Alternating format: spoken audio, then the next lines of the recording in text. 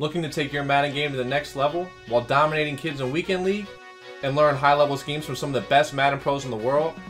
Make sure you check out Hot Route Tips and use code CHAOS for 10% off at checkout. What's up everybody, Chaos here, and yes, today I'm bringing you guys a championship level Madden tip, so I'm wearing my championship Madden shirt. Now, but in all seriousness, man, you guys know I have so much planned for you guys this year, and you guys have been killing it for me. You guys have been incredible. You guys have been knocking every like goal out the park, man. So today we're going to give you guys another one. We're going to bump it up to 500 likes. If we get 500 likes in this video, I'll drop you guys my favorite route in Madden 20. I found it a couple days ago. It's easily been my favorite route since. I've been using it a ton. So if we get 500 likes in this video, I'll drop you guys that video. Are you kidding me, guy? Very quickly, I do want to make one small announcement. If you guys don't know already, I'm a part of HotRoute.tips, which you can see in the link in the description below. Make sure you guys check that out. We just dropped our first ebook on there. If you guys don't know him, it's K-Mac's defense. K-Mac is the number one player in MUT right now on Xbox. At one point, he was like 110 and 1. He had an unbelievable record, guys, and he's been killing it. If you guys want his defense, you guys want to get better at the game, make sure you guys check that out. We just started our monthly membership at $14.99 and still have our yearly sale for going on for a few more days at $99.99. So if you are interested in either of those, make sure you guys check out hotroute.tips in the description and let's get into this video. I do want to implore you guys though, make sure you guys stay to the end of the video. I don't think it's too long of a video, but if it does get a little long-winded to you, skip to the end, look at the part about shotgun because no matter what you run on defense, that shotgun part will help you, but I think the entire video will be educational for you, and it will help you guys on your run defense, but at least make sure you check out that shotgun part. Okay guys, today we're going to be talking about run defense. Now I've seen a lot of people complaining about the run on Twitter, a lot of which has to do with the armbar. That I can't help you with. If you're going to get stiff arm, you're going to get stiff arm. It is what it is. Can't help you with that today, but I can help you with legitimate run defense and helping you guys stop the run in general. So it's going to start with the pass, but I'm going to show you guys here what my kind of concept is for stopping the run. Everyone remembers last year I used to man up my safeties and they would just start pursuing the running back as soon as the play started. They nerfed that, it doesn't work anymore, but there is something similar that you can do, but the concept comes from stopping the pass. Now, keep in mind, I will cut a few times throughout this video just to go to each section to show you guys the different things on how to stop the run. I'm not going to be giving you guys like the glitchiest gap shoot ever. I'm not going to show you guys how to shoot the gap on every single run ever. I'm going to be giving you guys the tools to take whatever defense you're in, no matter what you're in, this concept will work and be able to stop the run out of it. So everyone knows when a quarterback is in the pocket or whatever, they're passing the ball, they roll out, you want to send your guy at him, your closest zone or a spy, you click the right stick, right? So I'm going to show you that here on this pass play. So my hook curl goes out, I click my right stick, he goes at him. Now don't worry about the pass, it doesn't matter. I'm going to go into the replay section here. Just got dotted by the by the CPU. Alright, so the hook curl, he goes into his zone or wherever he's playing his spot. I click the right stick and I send him. He starts pursuing the quarterback. That's the concept that we're going to use to stop the run. So I'm going to jump into ace close here. I'm going to show you guys uh, certain thing that you can do to stop each run and just do a different do different things out of different coverages and show the different ways that it works. So let's jump into that. Okay, so for now, I'm in cover four drop, and the computer is in ace close stretch. So you guys are going to see here, I'm going to show you guys the run fit. The way you do that is hold left trigger, then hold right trigger, and you can do X or B. If the run's going to the right, it's going to be B. If the run's going to the left, it's going to be X. Right? Okay, so I'm going to baseline press here. I'm actually going to move this guy in a, like a step or two, right? And I'm not going to click the right stick. I'm not going to do anything here. I'm just going to let them run stretch right. And you're going to see they're going to probably have some success. I'm not going to use their tackle or anything. Just hanging back. Guy gets picked up. And they got a big game, right? Maybe I click on to make that tackle. Maybe I'm trying to use or I get blocked. Who knows what happens, right? Doesn't really matter. Now I'm going to show you guys. I'm going to move him in a couple steps again. And now this time I'm going to click the right stick and he's going to come right at the running back.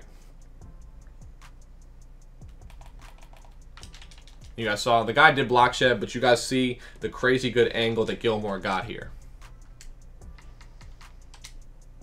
I clicked the right stick as soon as they hiked it.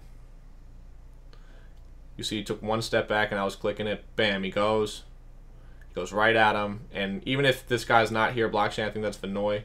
Even if he's not there, you have a one-on-one. -on -one. Now, I can't tell you you're not going to give stiff arm right there, but you have a chance to make the tackle. Right, so let's do it one more time here. Move him in like a step. Obviously, if, you, if you're afraid to stretch to the other side, you can always move him a step here as well. Now, I'm not even going to use her on this play, and I'm going to have this guy make the tackle. Send him again. He pursues very hard. Now the difference is, eventually they will go if you don't send this, so I'll show it again one time without clicking it. So they do take this first step back no matter what. Bam. Now if you click the right stick, they're going to super pursue. You see him sprint right at him to make the play.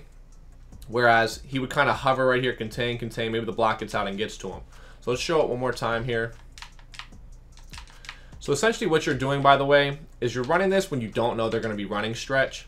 So if you think they're going to be running a dive, you want these like a dive or like a straight up the middle run, whatever, a lead, if they're in I form, whatever. You want these guys in the run fit uh, for like the middle purposes. So you want this, you want Chung and you want McCourty to be able to make plays in the middle while also having this edge. So cover two is going to take these guys out of the run fit it's going to put the edge guys in the run fit. So essentially what you're doing right now by get, being able to click this right stick is get this outside guy in a cover two run fit where he's playing the stretch while also having these guys in the run fit in case they run the ball up the middle. Now I'm not going to click it again here and I would expect them to get a decent gain. You see the tight end gets out there. He actually misses the block. But you guys can see this guy is not really pursuing hard down at the football. I'll show you guys one more time with the click stick, but watch this here. If he makes a good block and actually just actually hits this guy, he's probably off to the races. Now, he completely does nothing. I don't even know what he's doing. But you can see this guy's not really pursuing. Instead of taking one step backwards and coming right at him, he's taking three, four, five, and he just kind of hovers there. Eventually, he runs at him. But this just kind of gives you guys a three, like a three-step, three-second head start. Okay, guys, sorry about that. I had to cut. All I was saying was basically is this gives you this click uh, tactic here gives you about a three to four second head start of the guy running straight at a pursuit angle right at the guy instead of taking four steps back, hovering, waiting, then seeing and going. He takes just a straight angle down at the pursuit angle, and it's nine on nine when you have the the run fits versus the, the potential blockers, right? Because the quarterback and the and the running back aren't going to block, and then you have two people that aren't in the run fit. So if you look at the run fit here, the two outside corners are not in run fit. So by clicking the right stick, it puts this guy in the run fit, and then it's 10 on 9. Now, I'm going to run this one more time and let him run the stretch, and you guys are going to see he's going to probably blow it up by himself. Click it down. He goes straight at him. Now, he ends up getting taken out right there, but it makes him spin back, and he makes the play. Just this little, this little, like, two-step head start, three-step head start that he gets can really make all the difference when stopping the run. So you see he comes straight down at it. Instead of waiting, if he just waits right here, waits, waits, waits, one of these guys is probably going to get to the second level. Probably the guy who ends up touching him up a little bit right here anyways. He probably gets to the second level and hits him out here and lets Zeke go, right? So now I'm to cut one more time. We're to jump into a cover two and I'm to show you something else you can do. Okay, so now I'm in cover two and the computer's in like a zone weak. They didn't have a dive or anything, but it's close enough to a middle run that it'll work. I'm in cover two, so now the run fits are to be from the outside corners. It's not to be from the safeties no matter what, right? So to get the safety in the run fit, I move them like to the middle, like right here. I move them here so I know which one I'm sending. If you don't know, if you don't move one in, you're not going to know which one's closest. You're not going to know exactly how they're going to play the run. So I put one in the middle right there just so we can make sure I know he's going to be the one to go when I click the right stick. Some of the time he will shoot the gap, not all the time, but either way he's going to make him take up a blocker. And right there, that's literally the perfect clip for you. It did exactly what I wanted him to do. So let's watch him compared to the other safety on this play. It's literally perfect. Right here, I click the right stick, bam, he starts pursuing. Meanwhile, Patrick Chung, the other safety, which I can't send, is just backing straight up towards the end zone. Now imagine this safety is not here and he's just across from Patrick Chung this could be a monster game. This is probably a hundred yard game. Now maybe maybe they make a cut left, right? Maybe they maybe you say, ah, this guy just the computer just had really bad vision. They could have cut left. Yeah, maybe. I don't know if this linebacker can make this play. I don't know if my user can circle around and make the play. I'm not really paying attention to my user's run defense during this time anyways. But I want you guys to see that this straight angle will just really cause them... It looks like they have two wide open holes. Instead, they end up just taking the wrong one and making a tackle. So I just wanted you to see the potential of it. Now, if I get involved with my user, that's when it really gets better, to be honest, because they're going to probably shoot straight down on the middle run, and if I user around, they're going to have some trouble finding gaps to, to run through. So, click the stick, and we're able to make a tackle. Now, the computer doesn't have the best stick. Maybe they break a run there, whatever. The point I'm trying to make to you guys is you want this 10 on 9. If you get this 10 on 9 because the quarterback and the running back can't block, you get an advantage because before it's 9 on 9. If everyone gets blocked, you could be gone. But now if you get an extra guy outside the run fit, you're going to be in good shape. Send this guy here. And that's another perfect one. We're going to end on that one. I want to show you guys in the replay, though. I don't need to show it anymore. I think you guys get the gist. But Watch this guy take up a blocker so this linebacker can be free. Normally this linebacker would be blocked, but watch. So the guard comes up, right? The right guard. And he ends up cracking the safety instead of the linebacker. But if the safety's not there, if he's back with Chung, this linebacker's probably either I'm getting blocked or this linebacker's getting blocked. And we get a guy in there instead of having no one free and having tons of space. So I'm not giving you guys perfect run defense. You guys can rock with 3-4 odd. It's cool. I like cover 4 a lot from it. I use that. If you guys are getting hit with stretch a lot, you can run cover 2 and put the safety in there. You guys can do a lot of different things from it.